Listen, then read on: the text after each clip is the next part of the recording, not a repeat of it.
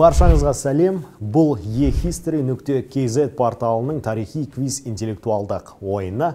Ендеше қонақтармен таныс болайық азиз жұмаділ журналист қазақстан тәуелсіздігіне 30 жыл медалінің егері түркі тілмаш жобасының авторы төрт баланың әкесі қазақстан бокс федерациясының ресми өкілі. Қарсыласын қай кезеңде нокаутқа жібереді екен? Көрейік. Ермұхаммед мәулен комментатор спорт журналисі футбол десе ішкен асын жерге қояды. Қазақстанда футболистерді қазақша сөйлетіп жүрген азамат. Қазір білген түйгенін студенттерге үйретіп жүр. Тарихи тұлғаның тарихтан қалай екенін бүгін білеміз.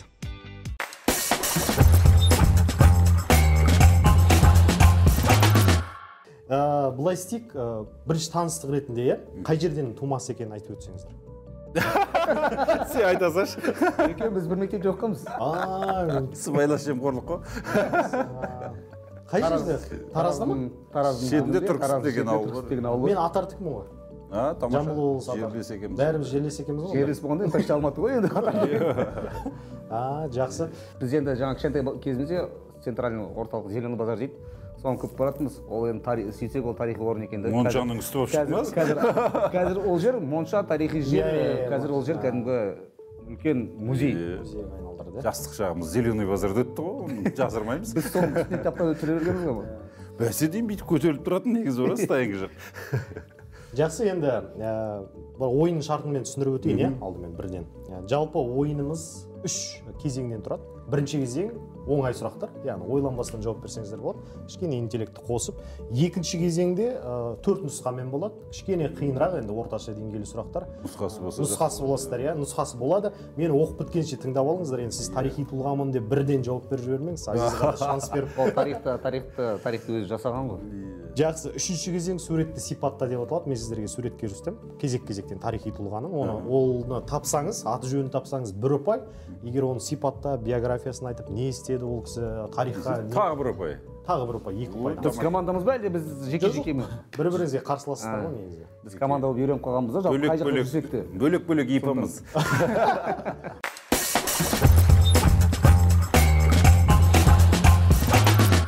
Бірінші кезең бірінші кезеңнің сұрағы. Дайын болсаңыздар оқи бастайын. А, бірінші сұрақ. Ең қадірлі адам.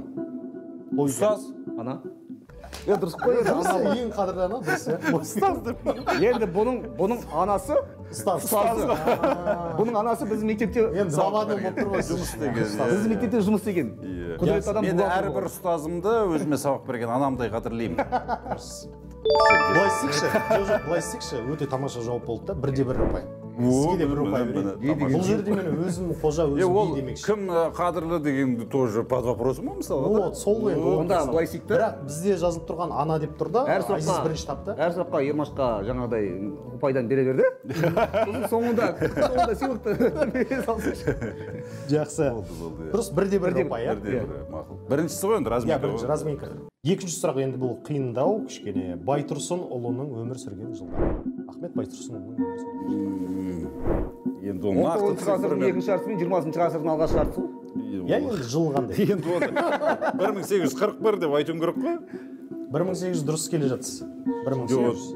Түсінікті ғой бір мың сегіз жүз. бір мың сегіз жүз отыз жеті үй қой отыз алты отыз жеті. Үй қой деймін. Жоқ дұрыс бірақ былай андай зеркально болып тұр да сіздің. А бір мың сегіз жүз алпыс үш онда. Жетпіс үш. Жетпіс үш дұрыс аха Иә? жетпіс үш. енді енді қайтыс болған жылдан сіз айтсаңыз так қоя тұр отыз жетінші жыл ғой.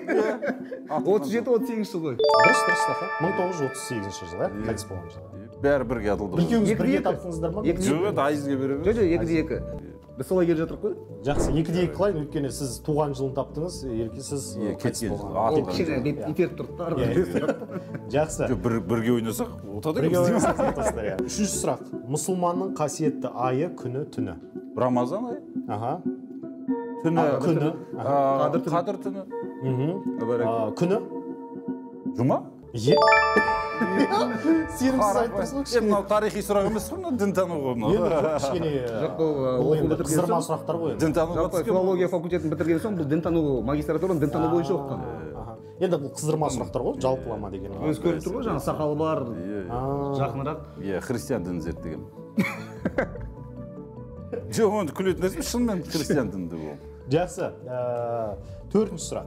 Қазақ апталық газетінің редакторы кім болған? Мұхамеджан сералин қазақ деген газет қой Иә, баяғыда иә, шыққан так. Ойлаңыздар кім бірінші жауап береді екен? Енді ахмет байтұрсынұлы болды. Иә, бірінші. газет сол болды ғой. Жақсы ә, ереке үште сізге- екі ұтып алдық ереке алдыға шықтыңыз. Ә, енді бесінші сұрақ. Қазақ хандығын құрған кім десе Керейжан керейжан бе Ә, дұрыс. Әдемі үште үш иә? Бірінші кезең аяқталды. Өте қызу ойын болды. Сіздер екеуіңіз бірінші командалас ретінде жауап беріп отқан сияқтысыздар. Алғашқы сұрақтарды ары қарай соңында қазір бөлісеміз үшінші кезеңге иә келеміз. жаңағы пәтердің кілтін екіге бөле салыңыз. Аха. Екі бөлмелі пәтер, бір бір бөлмесі бір бір бір бөлмелі. жалпы астанада пәтерлеріңіз бар ма? Деген. Мен қазір снимать етіп тұрып жүрмін енді өтірік айтпай ақ қояйын иә. Үшінші- видеоға айтып жатырмын негізі екі пәтерім бар? Мен ойладым ғой жаңағы екі пәтерін жаңағы арендаға беріп қойып үшіншісіне тұрып снимать етіп тұрып жатыр бар ондайымыз бар енді иә дұрыс қой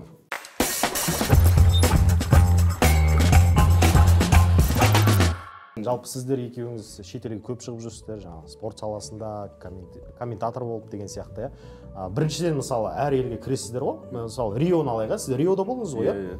Жалпы ол жақтағы тарихи орындарға қаншалықты көңіл бөлінген? Бірінші жағынан музей дейміз ғой. Жоқ музейді қайдам? Олар да жаңағы ашық аспан астында ғой? Иә иә.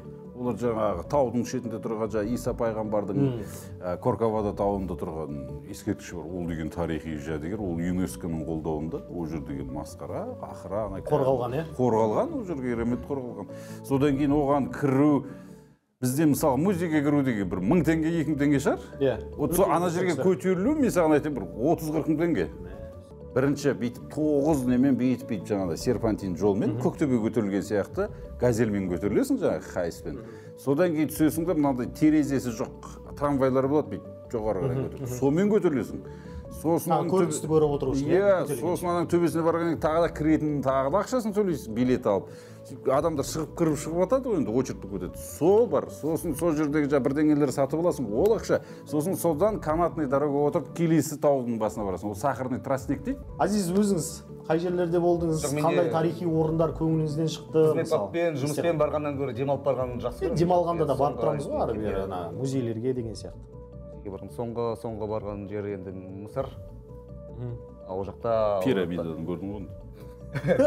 пирамида емес біз ә, жаңағы не жағында шарм жағында болдық иә? Пирамидаға. А пирамида көрген жоқсыз? қызыл теңіз жоқ ол жағына бармадық қызыл теңізге барып бардық біз иә. қызыл теңізге бардық қызыл теңіздің жағалауында ол жақта енді расымен де туристер үшін туризм туризм таптырмасы бар. барлығын жасап қойған иә. Барлық жағдай жасап қойған туризм туризм үшін. Ойлайсың да соларға қарап неге бізде осындай жерлердің бәрі бар ғой деп неге біз сол жасамасқа деген. Иә өздеріңіз айтып отқан жамбыл өңірінде мысалы әр қай тасты көтерсең бір тарихи орын ғой былайша топырағын түртсең тарихы көрінетін тараздамыз ғой. Енді сол неше түрлі аңыз бар? Неше түрлі аңыз бар? Тек тұрмас тек тұрмас бабаның астында кесененің астында жаңағыдай үңгір бар. Алдында жылан жатады деп. Ол үңгірді жаңағыдай үңгірдің есігінен кірсең кезінде жаңағыдай сондай не бар ғой шапқыншылық кезінде сол қырық километр жер бар арасында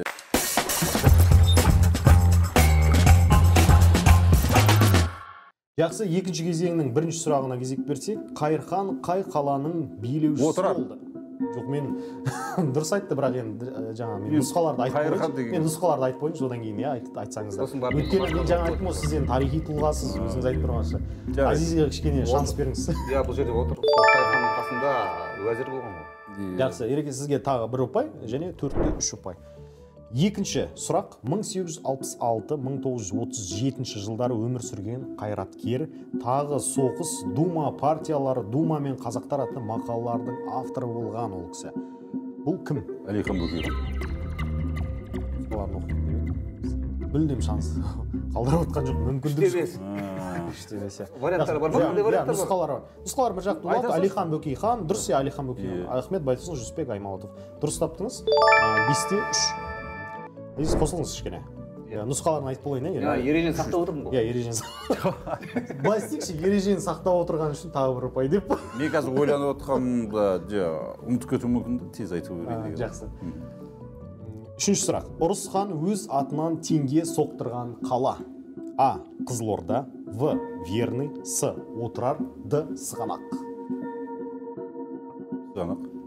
иә кім бірінші еді что-то естімей қалдым азиз А, айтса мен де айтады а сен айтатын шығар иә жақсы жалпы оңай сұрақтар ғой иә былай ойланып оңай, қарасаңыз сұрақ иә А, төртінші сұрақ екінші кезеңнің төртінші сұрағы.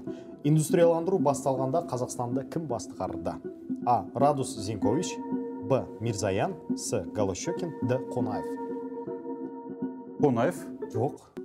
Голощекин индустрияландыру мирзаян. Голощекин деп айттыңыз иә? Голощекин голощекин ба дедіңіз бе? Ойланып қалдыңыз голощекин нақты айтыңыз. Үшінші үшінші қылып айттық қой оны вариант қалмаған кезде айттық қой. Төртеуін айтыға береміз ғой бір біреуін тауып аламыз ғой жақсы бірақ бірінші сіз айттыңыз. Голощекин ба? Голощекин голощекин. С- с нұсқасы голощекин ұпай бізде Бесте бес. бесте бес болды жақсы. Екінші кезеңнің бесінші сұрағы соңғы сұрағы. 1952 жылы жамбыл облысының лугов зауытында туған әйгілі сәйгүлік а абсент қой сіз бірінші азиз бірінші айтты иә негізі. Бірақ сіз былай былай істеп тұр иә Мен енді біліп анау- тұр аты бетін күтеміз ба деп ойладым сен ғой өзің айттың ғой жауабын күтуіміз керек дедің жақсы жақсы. Кабирхан болды нұсқаларда. Дулыға абсент қарайғыр деген. мынау үшін бір ұпай айтқан үшін бір ұпай. Иә иә. Енді бір бір туралы. ұпайдан мен тағы да толықтырамын да қазір. Тағы бір ұпай алып кетемін ғой. Иә. Бірақ бір бір ұпайдан берейін. Сіз былай біліп тұрдыңыз ғой десе де былай. Сен азиз айт деген сияқты нұсқап тұрдыңыз маған. Жоқ енді күте тұрайық па дедім Иә. ғой енді. Жақсы. Енді сіздерге бұл оңай енді ол луговой ғой кәдімгі Иә, құлан иә, ауданында жер- мен білген жоқпын сізді жамбылдық ескерткіші бар сондай ә, ол деген енді сұрапыл мықты ат болған енді сіз спорт саласында жүрсіз. Олимпиада туралы чемпионы. бір қалың қауымға бір екі ауыз сөз айтып жіберсеңіз Олимпиада чемпионы? иә иә. Рим қаласында иә Иә, олимпиада чемпионы. мың тоғыз жүз жетпіс екінші Иә, жылы 78. олимпиада чемпионы. Қазақтан шыққан тұңғыш олимпиада чемпионы. Иә. жылқы. Жалпы сол луговой ауданында. Олимпиаданың жүлдегерлері қанша екенін білесіз ба рекорд қой жалпы. Неше? жақсылық үшкемпіров сол жерде иә ол кісі Ә, ермахан ибраимов. А ол кісі де э, луговойдан ақжүрек таңатаров. Ислам байрамуков. Қола жүлдегер ғой ақжүрек олимпиаданың. Ислам бастап ә, қаншама Бес адам ғой? бес. Адам деп қой енді. Бес бес штук деп айтайын ба? Жылқының да жаны бар ол да сезеді. Әрине қазақ үшін біз тем более. тұқымын сақтай алмадық қой иә. Енді қарай негізі қайтадан жаңартылып жатыр. Қайтадан енді жаңа- кабирхан міне жақында ғана иә дубай қаласында топ жарып жеңімпаз болып жатыр. Молодец екен.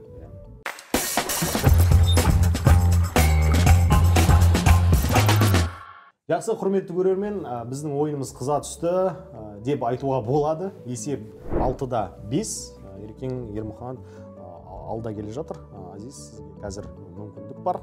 Алдыға шығуға иә. Қазір кезек кезектен сіздерге бір бір суреттен көрсетемін Ә, соны тарихи тұлға болады соны табасыздар. Егер оның толықтырамын деп иә биографиясын айтамын тарихта несімен ізі қалды аты қалды деген сияқты айтсаңыздар қосымша екі тағы бір бірінші азиз жауап береді иә азиз кім кімге бірінші жоқ былай былай қояйық кім жауап береді сол жауап береді. Жоқ олай емес. Кезек кезек иә. Бірінші азиз иә азизден бастайық. Так. пысымыла деп қояйық тағыны азиз мырза сізге былай қиыннан бастайық. Мінекей құрметті көрермен сіздер де бізбен ойнап отырсаңыздар болады деп көрермен көрсетейін одан кейін сіздерге. Бұл жа- енді табасыз бірден табасыз сүйінбай ғой жоқ. Менде бар. Жоқ сіз айтпай тұрыңыз айтпай тұрыңыз. Ойлансын кішкене бұл енді ә, сіз енді жамбыл демекші жамбылға жақын жерде туылған. А кім ғой? Ауыл ауыл Да, үшке дейін дейін білмеймін ол емес ол емес сияқты деймін ғой. Былай істейік үшке дейін санайын таба алмасаңыз ешқандай балл жоқ иә е ақылдамайтын ауыл ғой білмеймін мен мен барған жоқпын ол жаққа. Мен бардым ол кісінің ауылынан талай әнші шыққан ақын бұл ауыл бұл музейге де бардым мен ол кісінің. О міне керемет. Мен жаңа атар деп айттым ол ғой жақ мен атардың түбінде музей ауылда музей бар. ол соңына дейін бәрін жеткіздім ғой. жақсы ә, мен айтайын енді. Азиз иә. сіз таба алмадыңыз иә. Бірақ балл қосылмайды енді сіз қосымша ретінде жоқ мен мынау а, бұның жаңа нелер айтып беремін ғой жаңа ауыл бұның ауыл өте керемет. Ішінде музейі бар музейінде музей музей үйі үйі қазір музей ретінде тұр. Мен басты бұл кісінің аты жөнін тапсаңыз мен айтайын ба? Жақсы. Иә. кенен әзірбаев. Иә кенесары А, А, оны бәрі білеміз. Бірақ- ауылы музейі иә иә мінекей бәрін айтып тұр. Енді бұл керемет кісі туралы кішкене қосымша ақпарат бере өтсеңіздер бұл кісі кім? Жаңағы кенен ауылы қазіргі таңда кенен ауылы деп Кенен ауылы, Мхм. а сұрапыл мықты әнші болған керемет жыршы болған э, енді мынау суреттен де көріп отырсыздар домбырасының ұстасы қандай кенен деген енді анау жаңағы әсетке ба- шығарған өлеңі қандай керемет э, ұшты ғой бұлбұлдан э, кеудеден э, бұлбұлдай жаның ұшты деген сияқты сондай өлеңдер бар. Есімде енді кезінде кішкентай кезімізде кассетаға қойып тыңдайтынбыз.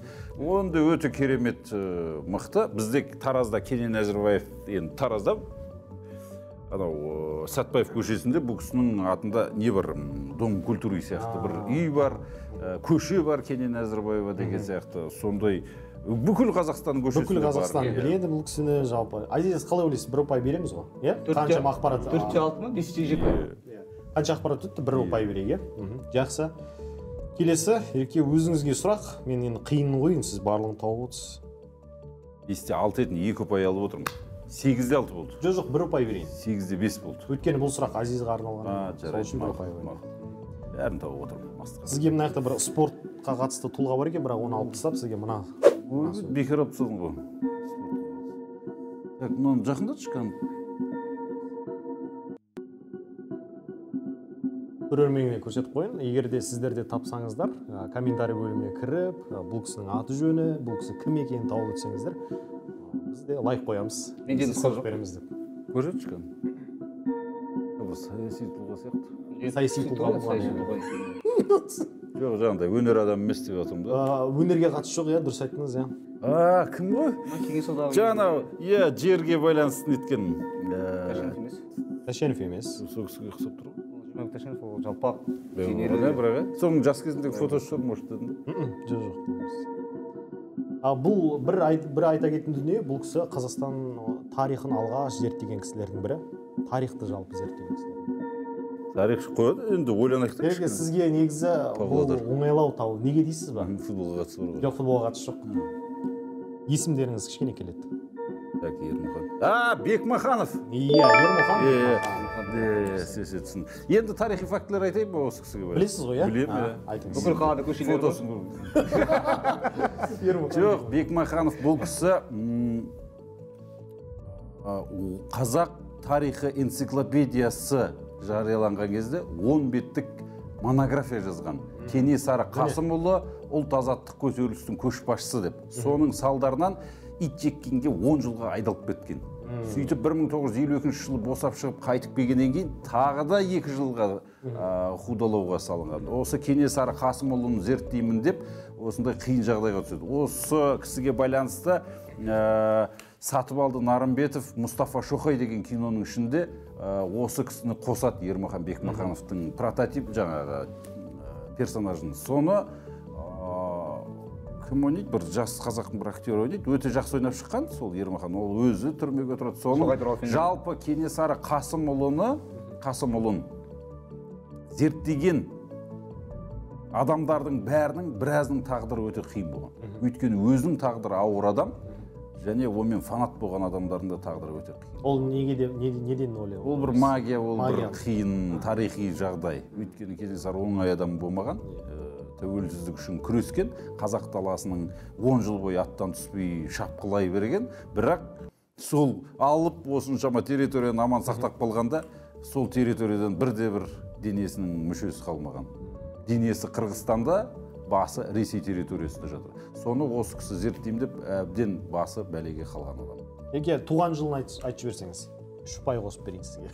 Ох, білмеймін мен оны точно білмеймін жақсы бірақ бір, біраз ақпарат айтып кетті иә. Азиз сіз қосарыңыз бар ма? Ұпайды уже қоса беруге болады. Сіз айтарыңыз бар екеуі жетеді екеуі жетеді. Екеуі жетеді. Сіздің алып қосарыңыз бар ма? Жоқ. бекмаханов туралы. Жақсы. екі ұпай сізге кетті. Ереке жақсы. Ә, келесі фотосурет. Азиз өзіңізге арналады. Так мына кісінің қайсысын сізге қойсам екен деп қояйын да мына кісіні алайын. Мінекей көрінбейді ме? көрінбейді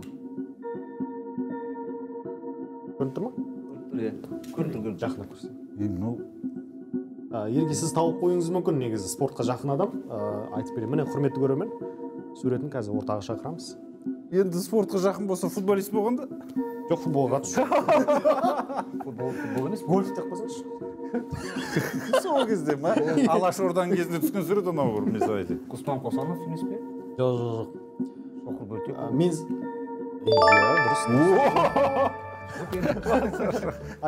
жақсы иә өте тамаша иә дұрыс айттыңыз бөлтек Э, кішкене ақпарат өйткені соқыр бөлтек ол мұндай жас кезіндегі суреттерін көрмегенбіз де оны жоқ мен бұл, ең көп таралған суретінің бірі. Ең біз көп ә, жоқ біз білетін енді біз жаңағы мынандай енді спорт спорт жағынан білетін суретіміз сол шоқыр өзі майкада бүйтіп иә, тұрған иә, суреті бар. иә. біз білетін сурет сол иә шашы артқа қайырылған кәдімгідей анау енді осындай сурет бар кішкене ақпарат беріп өтсеңіз былай болған ғой мен айтайын ба Айт- айтсын өзіңіз иә айт айт айт жоқ сол костюм шалбар қаяқта киіп түскен айтайын ба?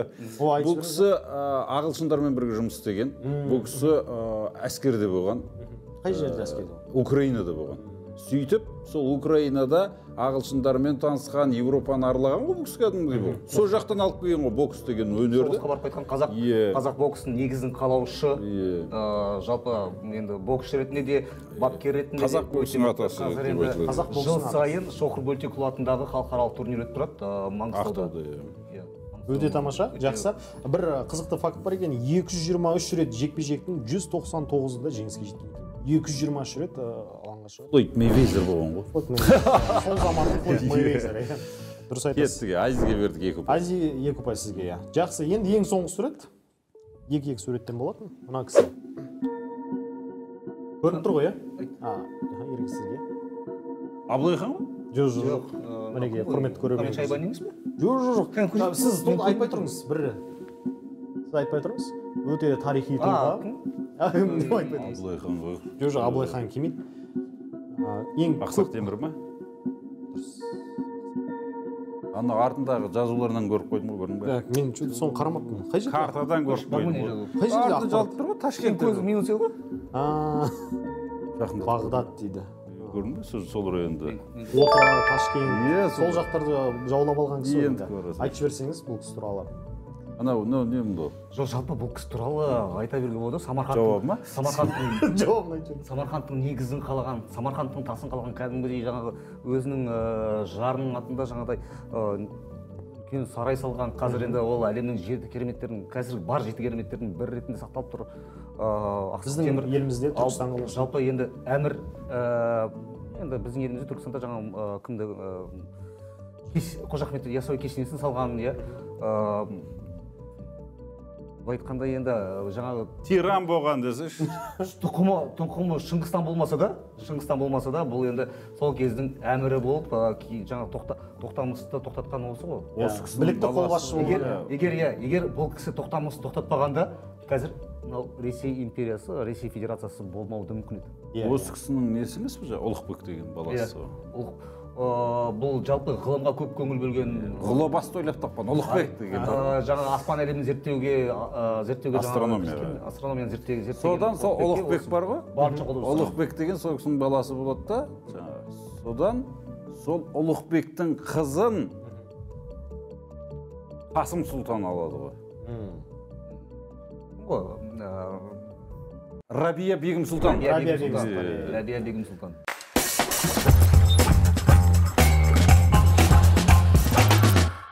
Құрметті көрермен біздің мінекей тарихи квиз интеллектуалдық ойынымыз өз мәресіне жетті. Қонақтар өте тартысты. Әрі жеңіл көңілді ойын өткіздік деп ойлаймын. Өздеріңізге ұнады ма? Иә күшті екен өте тамаша. Бұрынғы енді есімізде жоқ қой қазір. Ана казгуде оқыдық. Кішкене еске түсірдік. Иә соның бәрі кейбір жерлерден шықты. Жаңағы мысалы ахмет байтұрсынның туған жылдары деген мен оны ұмытып қалдым енді өтірік айтпай ақ қояйын. Ермахан бекмахановтың мен бүкіл өмірбаянын бала шағасын жатқа біліп тұрсыз, бірақ, танимын, иә. суретін мен өйткені жаңа кенесары танушылардың қатарына кіріп кеткен кездерім де болған мен өйткені сол кісілер туралы бір екі үш мақалам шыққан алаш журналына шыққан кезінде әжептәуір сөйтіп жүрген фанатеть еткен кезім болды. Сосын бір кісі айтты ол керек емес тақырып сен ауыр өміріңе қиын болады шынында да солай сосын бас тарттыңыз ба ол иә ол мистикаға толы жағдай. Басың бір жақта қалады денең бір жақта қалады деген содан кейін қоя салдым. Өйткені кенесарыға байланысты өте даулы мәселе өте көп Иә. білесіздер. Әлі күнге шейін саяси жағдайлар әсер етеді. Сондықтан менің ойымша бұл тақырыпқа әзірге бармай бірақ екеуіңіз де бабында екенсіздер. Біраз нәрсені жеңіл жеңіл таптыңыздар бірден тауып отырыңыздар. Егер сізге мүлдем сөз жоқ өзіңіз жаңа тарихи тұлғамын деп айтты ғой шынында да тарих тұнып тұрған тарих екен бойында. Иә әзиз өзіңіз жаңа. Өте қызық жоба керемет ең басты пайдалы жоба. Және бұл енді қазір қарап отырған жастар үшін жақсы. Жаңағы қарап отырып емес қосып қойып ақ қосып қойып ақ тыңдап отырып ақ жаңағыдай тарихтан біраз хабар аласың хабар алып отырасың иә. Біраз нәрсе бастысы, еске иә, жаңағы Жақсы. бар басқа бар бәрі де бір бірін жақсы үйлесіп тұр. Құрметті көрермен осымен қорытындылайық. Есепті ермұхан мәулен сізде Тоғыз. ұпай. иә тоғыз ұпай. Азиз жұмаділ сізде шексіздік. Жеңімпаз ермұхан бірақ десе де біздің жобаның шарты бойынша біз екі қос спикерімізға да сыйлық береміз. Құр қол ешкімді қайтармаймыз. Ә, мінекей біздің сыйлығымыз біләл сүлейұлы деген яғни алаш қайраткері сондай ағартушылықпен айналысқан ә, ғалым кісі болған осы кісінің кітабын сыйлағым келіп отыр. Бұл кітапты яғни ә, осы қалың көрерменге оқ- оқырман қауымға арнап шығарған қыр баласы қоғамдық қоры болған. Сол кісілердің атынан мінекей сіздерге осындай тамаша кітабымыз. Саған. Иә, Азиз сізге ә, және оқып болғаннан кейін маған берем мен де оқимын. Кей кезде оқып ә, жаңағындай ара тұра енді болып тұрады ғой. Үйде жатқан кезде демалыста оқып тұрсаңыз әрине бұл алаш тарихы деген өте керемет. Ә, жалпы ә, редакциясын басқарған заңғар кәрімхан екен. Кәрімхан мырза иә. Сізге танимыз танимыз иә. Филология ғылымдарының докторы профессор кәкен иә, өзіміз. хамзи Жақсы, сендерге сауап ә, алма оқуды бастап сайлау кетті, қызы құрметті көрермен, Ай- бізге. алма сайлау қызын кеше ғана алмаға да көрдім. алмаға да кеше ғана жалын жақсы. Бұл кісілер бастап кетті оқи берсін. Ал біз ә, өзіміздің бағдарламамызды тәмамдаймыз. Өте қызықты ойын болды. Бізге ютуб ә, арнамызға кіріңіздер комментарий жазыңыздар. Сондай лайк қойыңыздар бізбен бірге болыңыздар. Төл тарихымызды ұмытпайық құрметті көрермен.